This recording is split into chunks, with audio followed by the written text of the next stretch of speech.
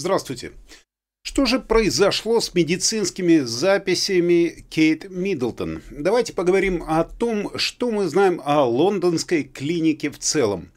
Э, газеты часто печатают вот эту фотографию, на которой Кейт Миддлтон в фиолетовом пиджаке, и она выглядит достаточно грустной. Почему? На заднем плане видна внешняя сторона лондонской клиники и пара рук, которые держат планшет с документами. По словам инсайдера, один из сотрудников клиники якобы пытался получить доступ к медицинским записям Кейт, которые были сделаны во время ее лечения. Элитная лондонская больница, известная тем, что лечит высшее общество, попала под огонь критики из-за сообщений о нарушении врачебной тайны в отношении члена королевской семьи.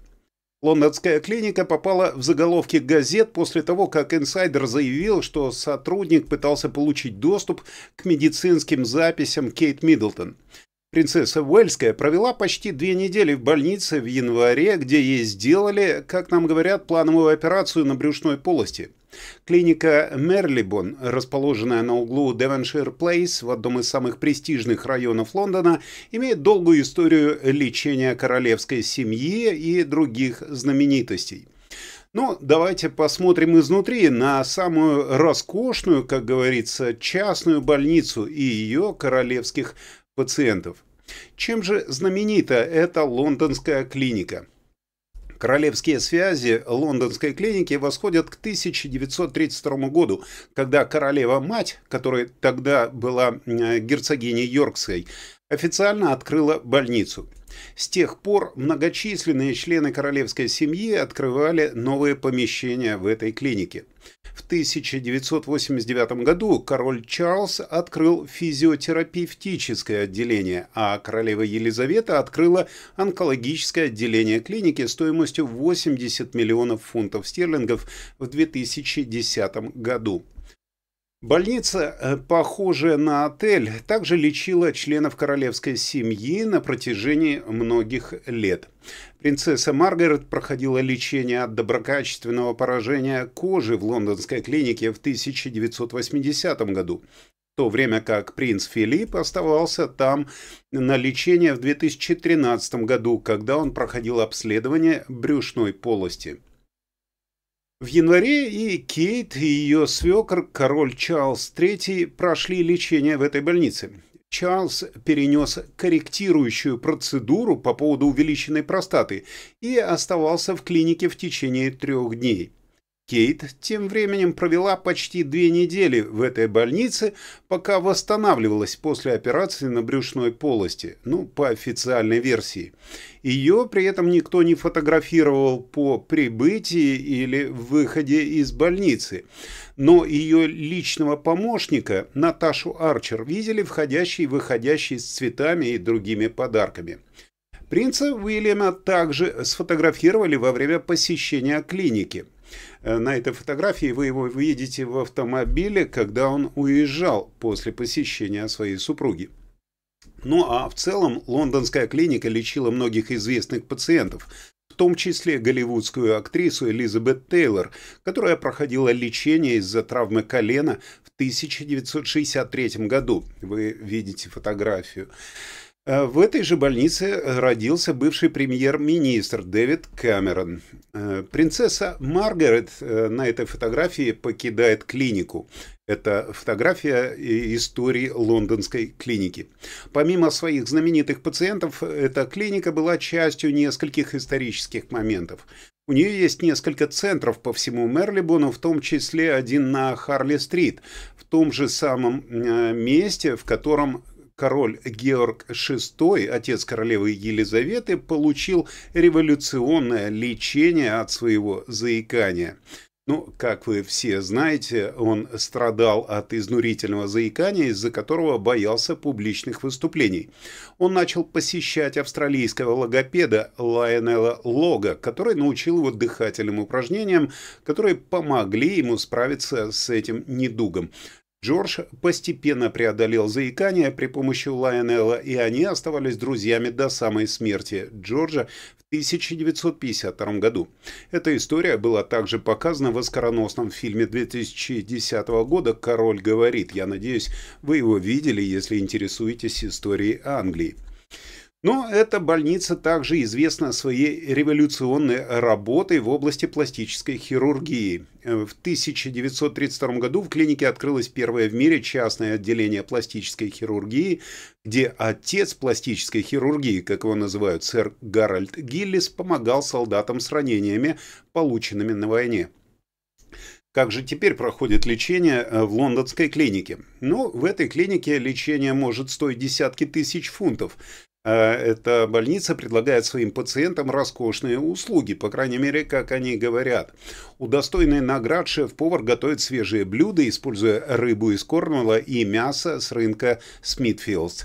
Ну, в среднем обед выглядит вот так. Я бы не сказал, что это что-то особенное, но все-таки.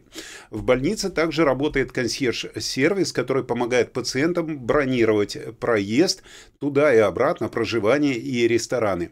Гости могут отдохнуть отдохнуть в отдельных номерах с телевизором и собственной ванной комнатой. Пациенты также могут позвонить в любое время, э, даже посреди ночи, чтобы записаться на прием к врачу общей практики в тот же день по цене от 60 фунтов стерлингов. Ну а стоимость ночевки варьируется в зависимости от проведенного лечения. Замена тазобедренного сустава, например, стоит 15 175 фунтов стерлингов, в то время как хирургическое э, лечение храпа обойдется вам в 3000 фунтов. В больнице имеется также э, возможность лечения 155 разных заболеваний по последнему слову техники. Здесь есть специализированные отделения урологии, гинекологии, таракальной хирургии, ортопедии и спинальных процедур. Это одна из крупнейших частных больниц в Англии, в которой ежегодно лечат около 23 тысяч стационарных и около 110 тысяч амбулаторных пациентов. Клиника также работает как благотворительная организация и реализует медицинские исследования и инновационные проекты – Комиссия по качеству медицинской помощи, независимый регулятор здравоохранения и соцобеспечения в Англии, в 2021 году присвоила лондонской клинике оценку «хорошо», но при этом заявила, что хирургия на э, месте требует улучшения. Так что не все так хорошо в этой клинике. Так почему же эта клиника теперь находится под следствием? Инсайдер утверждал, что один из сотрудников пытался посмотреть медицинские записи принцессы Уэльской во время ее пребывания в лондонской клинике. Э, источник сказал, это было серьезным нарушением безопасности и невероятно разрушительно для больницы, учитывая ее безупречную репутацию в области лечения членов королевской семьи. И если это утверждение будет соответствовать действительности, то это будет грубейшим нарушением врачебной тайны. Доступ к медицинской документации пациентов без согласия контролера данных медицинской организации является уголовным преступлением в Великобритании. Так вот, британский орган по надзору за конфиденциальностью и управление комиссара по информации подтвердило, что чиновники получили и рассматривают на данный момент отчет об этих нарушениях. Доступ к медицинским записям короля при этом получен не был. Ну, по крайней мере, такая информация официально представляется э, публике. Как же отреагировала сама клиника? Да, в принципе, ничего особенного они и не сказали, э, потому что они только опубликовали заявление в связи с этими обвинениями. Эл Рассел, исполнительный директор лондонской клиники, сказал в своем заявлении, что в случае любого нарушения будут приняты все соответствующие следственные и нормативные, а также дисциплинарные меры.